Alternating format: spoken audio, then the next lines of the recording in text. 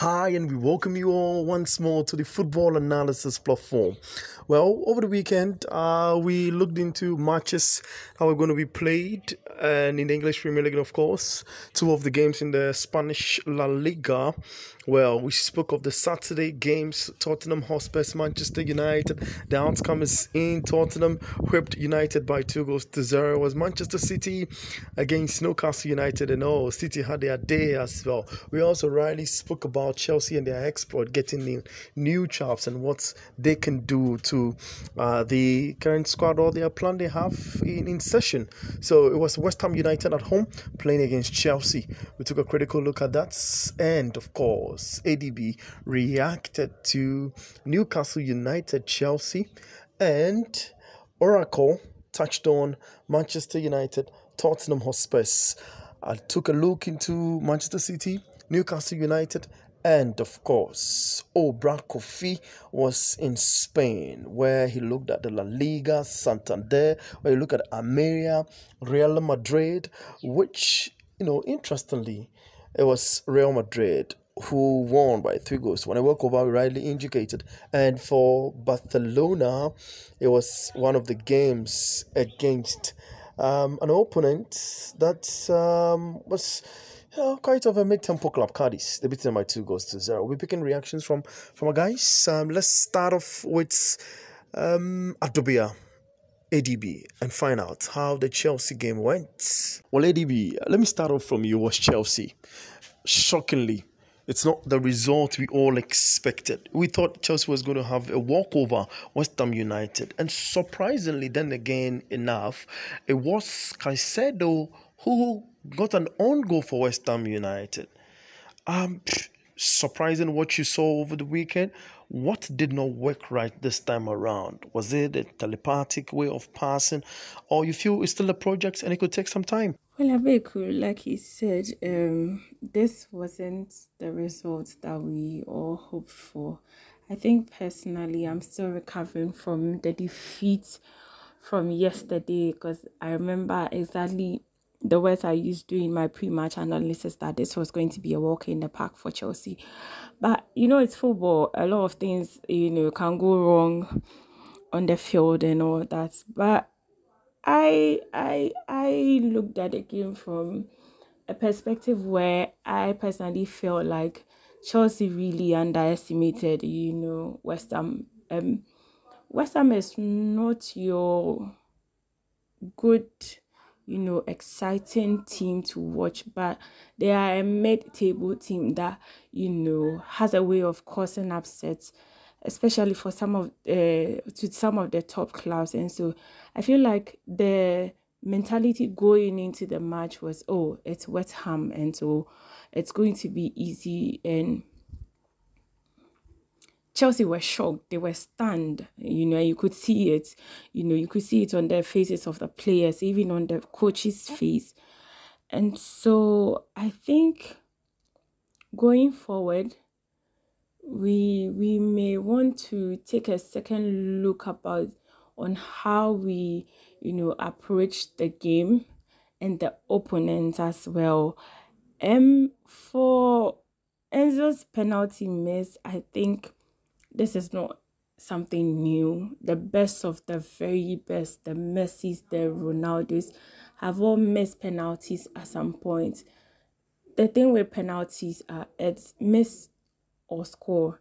And unfortunately, he missed it, you know. But the pressure on him comes from the fact that you spend this amount of money on a player and you would want him to deliver at that crucial moment in a match where he was you know that if if that penalty had been scored by him it would have made a huge impact you know on the on the match and so yeah, I'm sure he'll be gutted that he missed it, but he will move on. You know, he will move on from it, and Chelsea fans and rival fans as well will also move on. For Caicedo, Caicedo, Caicedo's issue is like the the worst nightmare you could have, you know, on your debut day after all the forth and back with Liverpool. You know, he's signing for Liverpool, he's not signing for Liverpool, and then you know you are brought on to make a difference and you end up rather being, you know, the black goat and then dashing away a penalty to your opponent. I I I, I believe that he's still young and so he would learn from this experience, you know, on his debut. Uh, entirely, you could see that the team played well. I mean, you look at the stats, Chelsea had much of the possession. Then again, possess possessing the ball won't score you goals. At the end of the day, you don't get three points for having 75 possession of the ball. You get three points for the amount of goals you scored. So maybe going forward, we would be more clinical, you know. And let before before I forget it, I I, I feel like Sterling deserves his flowers. I mean, he put on a stellar performance even though you know we end up we ended up losing the game and all that. So um let's see. It's early days yet. I mean we, it's just two matches and we've drawn one and we've lost one. It's, it's still too early and you know we are still building a team. Like i said i don't have any high hopes for that team but then you you would want the team to pick certain easy points that you think they have to because if if you are losing against west ham imagine if you play City, what are you going to do? Oh, brown coffee. I mean, you, you rightly mentioned that uh, it's going to happen for Madrid and uh, for Barca, for Barca, Cadiz, it happened. Almeria, Real Madrid, it happened. You feel now the competition has already started between Barcelona and Real Madrid because I mean, results brings a lot of confidence into into the squad. I mean, you take the a, a look at the two the two teams and events that pan out, smooth riding, or it's early days yet. And again, you mentioned that um, you don't see anything unique over the weekend. The bigger fixture was going to be Manchester City, Newcastle United. Any reactions from uh, the the Manchester City Newcastle game? We saw Erling Haaland trying. Uh, the, I mean, his hardest, but the likes of Botman and, and the other guys in there prevented him. It was a serious marking. But Phil Foden's performance, oh goodness. Thank you, Abeiku. I think it's still early days, as you rightfully mentioned. Um, Real Madrid had a very good game against Almeria. Almeria isn't a pushover, but Real Madrid having the likes of um, Jude Bellingham playing his best game at the moment, I think Real Madrid is still a force to reckon with. Um, I I believe now that there is this missing connection in the midfield. Jude Bellingham pushes forward too much most of the time, and I understand that it is part of his game. But a CM playing that high leaves a lot of spaces behind him, and um, a, a team that is tactically aware of these lapses will exploit some of these things, and um, Real Madrid will be found wanting. It's still early days, though. It's still early days. I still think they will struggle against the top clubs. Now, FC Barcelona. you see, before the weekend, I told you, I told you that FC Barcelona is still struggling to score goals. I said it before and I'll say it now. You still, at this point of the beautiful game, you do not count your goal scoring hopes on a player like Lewandowski. Yes, he has been great in his time at Dortmund. He has been great in his time with Bayern Munich. I think we should all believe and uh, accept the fact that he he is not up to the task it was a scrappy game. Um, well, even though Barcelona controlled all aspects of the game from from the beginning to to to the end, Cadiz also pushed forward a lot and created a lot of chances. And if they buried these chances, Barcelona wouldn't have had that opportunity to carry all three points on that day. But the major problem here is our goal scorers. Um, we don't have a prolific goal scorer who kills all these chances that that the players will create. The likes of Pedri, Gundogan. Gundogan had a very brilliant game yesterday, and I was I was really impressed. And these players create a lot of chances. They they they drag all these players to themselves and create enormous room for other players to operate. But there is no one to kill that final ball. And I think it's bad for a club like FC Barcelona and we will struggle if we play like this in the UEFA Champions League. A big win EPL, yes, I said it. I told you the best game of the weekend will never be Spurs Manchester United. Um, that game was boring, if you be honest. Even though I enjoyed it, I, you know, you know, I'm always happy when United struggle. But Abeiku, I still don't understand why um, Ten Hag plays these two players as a double pivot with Casemiro being an anchor. Bruno and Mount will always push forward. You and I know this. They will always push forward. And the gap that is left in the middle for the opponent to exploit are huge, huge. It happened with Wolves, just that Wolves did not capitalize largely on that. But Tottenham did. I think that loss was um, a tactical failure from Erik Ten Hag, and um, I think he needs to go back to the drawing board and know how to fix these players and get the best out of them. Because at the moment, it is really not working for the manager Erik Ten Hag and Manchester United as a whole. Manchester City also had a very difficult game over the weekend, and as I mentioned, Abeiku, I I made that call that that will be the toughest game for the match day two. Um, I knew it was going to be a very tough tactical battle between these two coaches, and um, Newcastle having a player like Sandro Tonali playing his best games in the EPL after I moved from AC Milan it was always going to be difficult for Pep and his men. At the moment, tactically, Newcastle are brilliant, and I tip them to be higher on top of the table, even part of the top four, top two, if I may say honestly, there are a lot to talk about, even Chelsea. I mean, the struggle in that club gives me a lot of joy um, after all these acquisitions. and I know Adobia will not like this, but it is clear that these acquisitions will only start gelling after a year or two, even five, if we are being honest. But I will only talk on Chelsea games when they start picking up. so, Abeiku, that's it for now um, we look forward to match day three. I mean, Oracle, you were not. I mean, you were not surprised, I guess, from the result that was was accumulated. You you rightly mentioned that there was nothing new that was going to come out of United. I mean, what, what's the problem now? The goalkeeper saved had a solid save with the feet. David De Gea does same, you know, enough to say you've gotten a perfect goalkeeper replacement for for De but for United's defense seemed not to be organized still, or you feel the pressure still lies in the midfield. Ah, uh, Mason Mount, then again, Garnacho, United, there's a missing jinx. What's really happening? What should Erik Ten Hag do? The first one he says performance was not good, result was grinded. Second match of the of the week, I mean, no result. He says the performance was okay. Do you share same sentiment?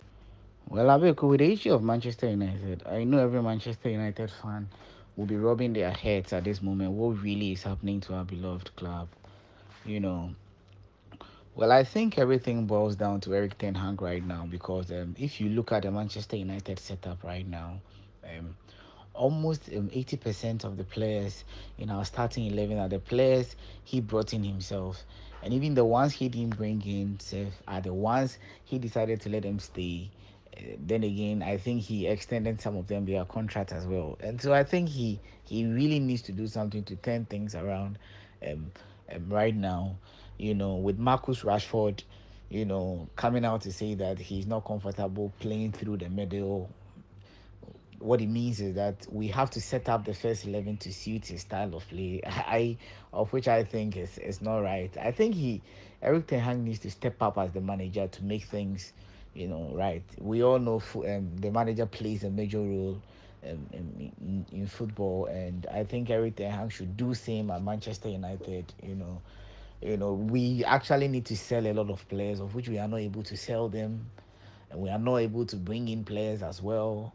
You know, with his new style of you know coming to the media to tell us that um, um, all is well, defending the Glazers we all know Harry Maguire has been a abysmal at Manchester United ever since we bought him from Leicester City. We should be able to offload him by then. You strip off his captaincy.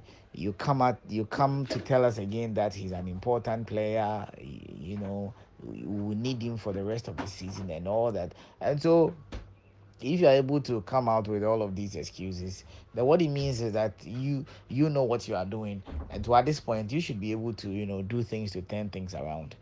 I know that when the English media turn on him, there's going to be a lot of pressure on him. Probably that is what he he wants right now before things are going to things are going to be done right. But as it stands right now, I think everything needs to you know step up as the manager to to to to to make things right. Our starting eleven is not helping the team. I think Miss Mount should be dropped um, and Garnacho should be dropped. As for Antony, the least said the better. He's not helping the team in any way, honestly. So I think everything has to do something to, you know, turn things around. Other than that, I think there's going to be a pressure on him. You know this English media and and and and they are and they are and they are nonsense. I mean, quite quite interesting analysis from you, Brakofi, and the and, and, and you guys. But um, I mean, uh, for me, it was about the shock on Saturday. I thought Newcastle United were going to come to the party. Well, they did come to the party. I saw a lot of movement, but this Manchester City, you cannot take anything away from them. And I see Manchester City scored, and I take a pause and look at Phil Foden, who's replacing um, a certain Kevin De Bruyne and he played that role solidly. I mean, he was the right connection to Erling Haaland most often accounted about four of the good passes to Erling Haaland, but for the defense of Newcastle United, Schär, Botman, solid four and five, making sure that when each other, in the absence of, I mean, one, the other is covering perfectly, and they did just that. And and I mean, Newcastle has gotten this bit of strength and agility and some sort of confidence in them that they play with, and it's quite it's quite enthusiastic. I mean, it's quite interesting.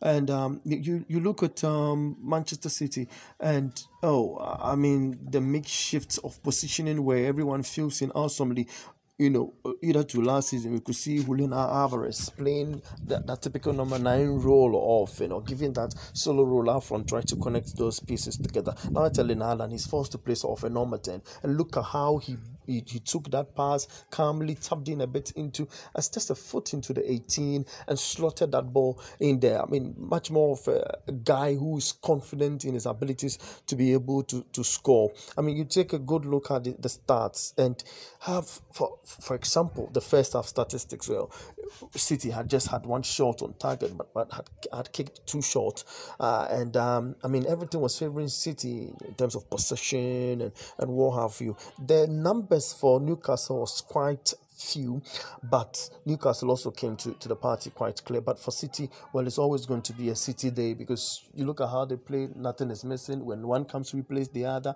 there's no difference that you could see. Surprisingly, Pep Guardiola didn't make any substitution. It tells you what he has a lot of confidence in this squad guys, this has just uh, been uh, week three of the English Premier League and, of course, the uh, Spanish La Liga. This is the football analysis here on YouTube. Kindly subscribe and uh, put your notification button on. Leave a comment in the comment section. We're going to react to that. We'll come your way with week three. Stick and stay. This is a big Bake on YouTube.